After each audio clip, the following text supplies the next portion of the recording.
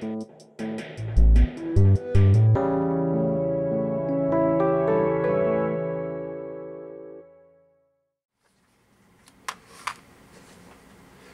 I want to show you a tapping fixture that I just made and uh, after I used it I thought I had to share this because it really worked out well.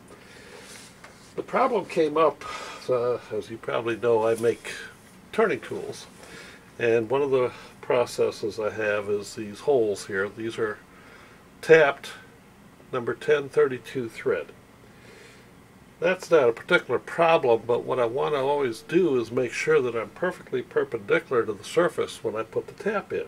Now on the drill press, of course, I get the holes in uh, square and true.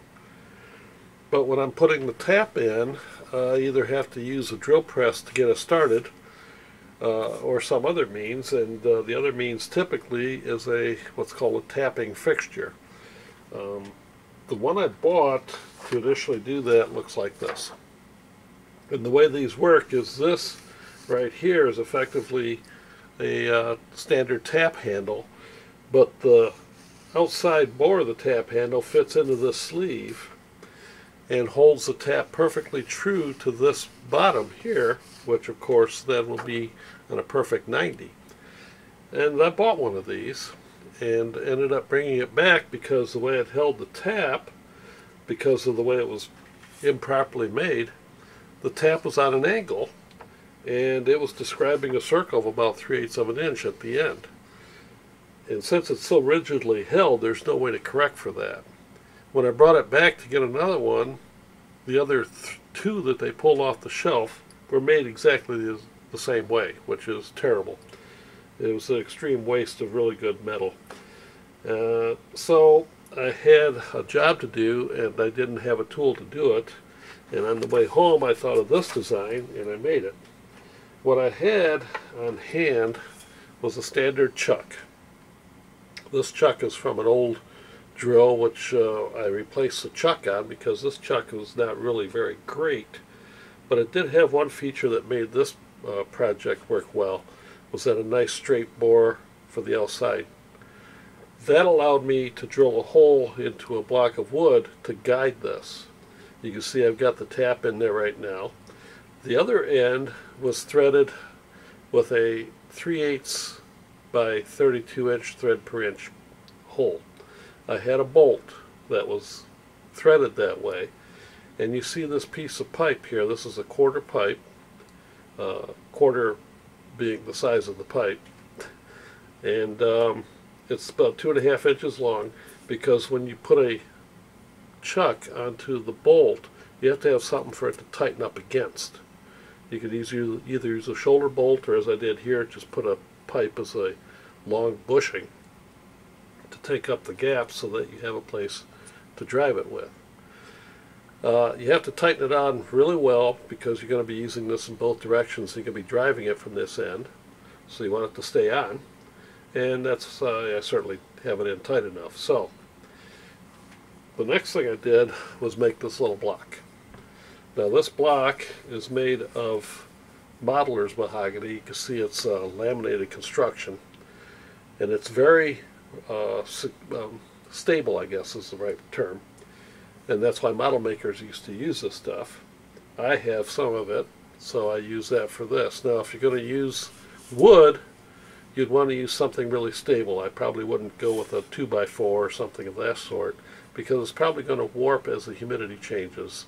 So use something uh, like an exotic or maybe even laminate some uh, wood like this is so that you know you're going to be really stable because once you drill that hole you don't want it to go out of round.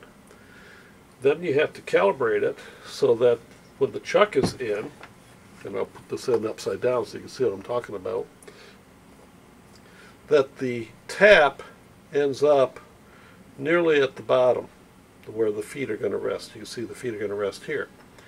And that allows you to then have enough range to tap a hole while this slides in that uh, bore.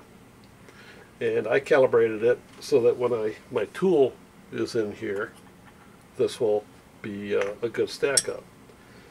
Then what I did when I was going to tap these is I would clamp the tool uh, on the bench with a uh, just a C-clamp or something, just to hold it in place.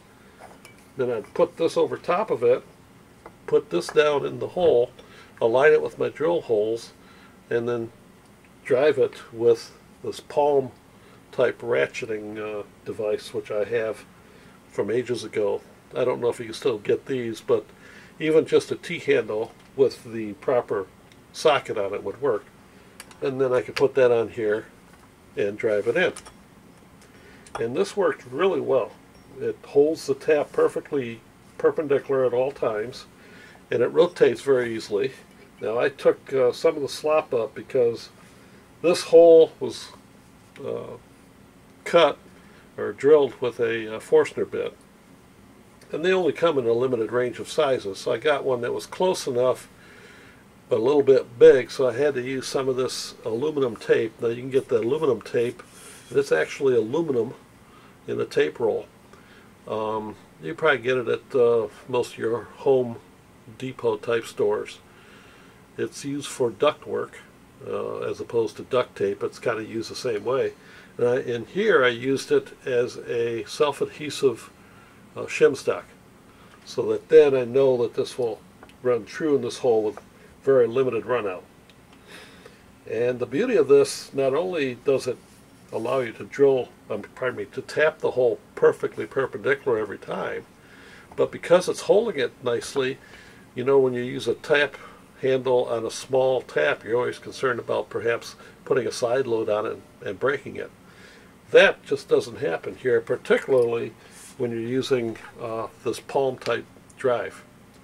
So I thought I'd share that with you if you ever have the need to tap holes perfectly perpendicular and you don't happen to have or want to buy a tapping fixture, this is a pretty easy one to make.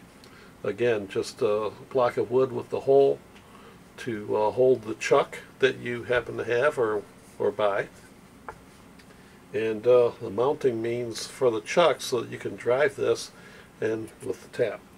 This will cover taps up to about, I think, quarter inch is the size, and that works for me. If you have other sizes, of course, you want to scale it up to accommodate that.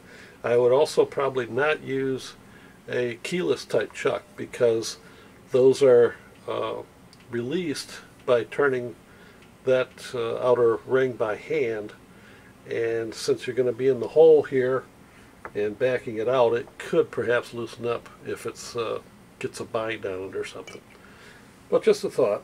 Um, that's about that for this little video, and I hope you can use it.